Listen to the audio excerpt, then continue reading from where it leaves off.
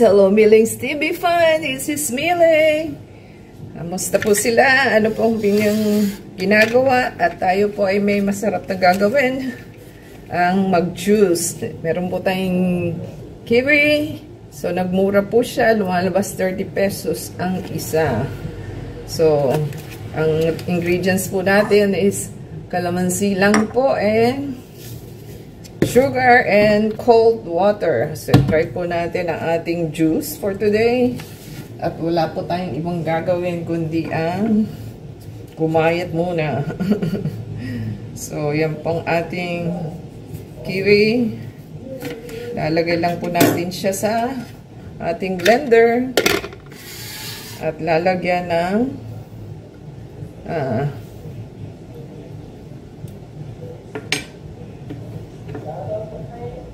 Ganyan lang naman po. So, kailangan hinog na siya. Kasi pag hindi, hindi nyo po makukuha. Yan. Kain lang po natin.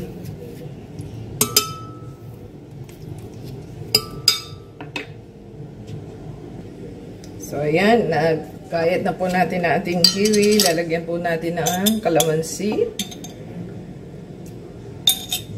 Lalagyan po natin ng asukal at wala po tayong honey. Ayan.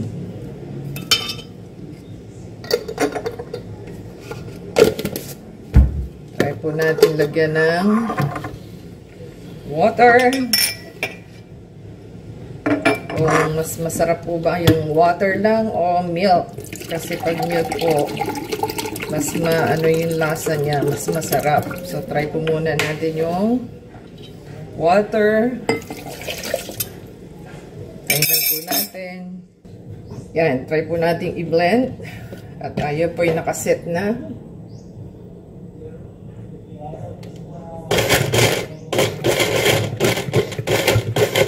Papals po muna natin bago po natin siya i-speed. Make sure lang po na, na ano nyo na siya. Nakat na siya. At durog na.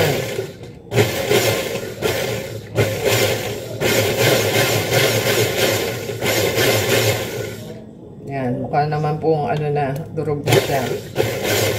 Speed po natin.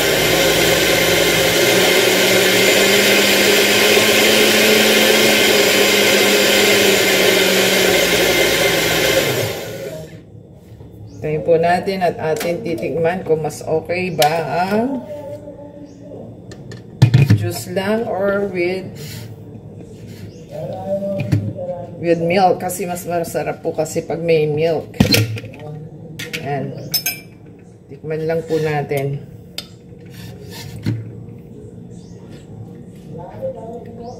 Super asim.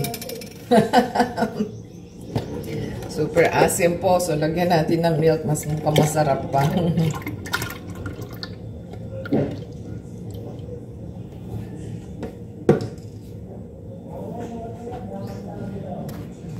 so, maglalagay po tayo ng 1 1 glass of milk. At super asim po siya. So, vitamin C po ang kiwi. Kasi asim. Try po natin lagyan ng ating milk. So, mas masarap po may milk eh. Baka po mas lalong sumarap siya. Isiset po natin uli para po mag, ano siya, mag-blend. Hintayin lang po natin. Yan. Kailangan po nakalak siya para umandar.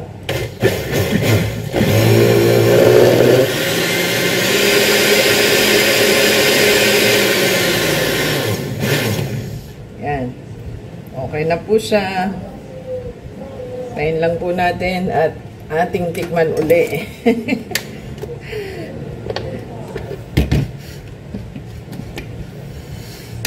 Choices option lang naman po yan kung ayaw ng milk.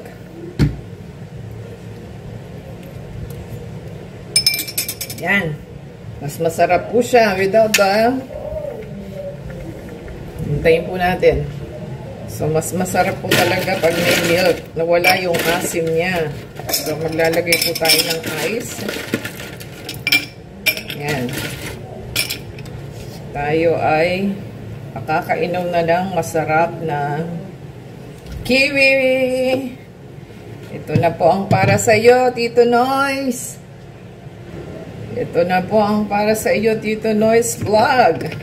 Ito po yung request mo na kiwi juice. So, try nyo po lagyan ng milk. Mas masarap po with milk. So, ayan na po yung request mo na, na, na sinasabi mo, Tito Noy. Nagmura po ang kiwi. Kaya parang lumalabas po ay more than 35 ang isang kiwi. Grabe, no? So, healthy po siya. So, paki-like po tayo comment sa ating uh, kiwi kung ano pong masasabi ninyo. Of vitamin C po siya. So, pag may milk, nawawala po yung asin niya. Uh, kailangan po kasi may kalamansi pang contrast. So, yan po ang ating masarap na kiwi juice, na healthy lifestyle. And add po tayo sa ating YouTube, sa ating Twitter, Instagram, TikTok. And subscribe po sila. Until next time po, sana na nagustuhan ninyo yung ating juice for today. Until next time po, bon appetit! God bless everyone!